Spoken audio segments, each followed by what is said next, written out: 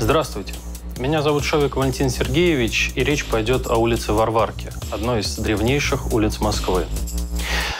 Говорят, архитектура – это зеркало эпохи. И за свою 637-летнюю историю Варварка отразила все известные России архитектурные эпохи, стили, начиная со средневековых крестово-купольных зданий и заканчивая эклектикой начала 20 века. На этой небольшой улице мы найдем и Нарышкинское барокко эпохи русского возрождения, и псевдоготику, и русский, он же московский классицизм, и ампир, поздний классицизм конца эпохи нового времени. В наше суетливое время мы привыкли раздавать быстрые оценки, основанные на нашем вкусе. Нравится, не нравится.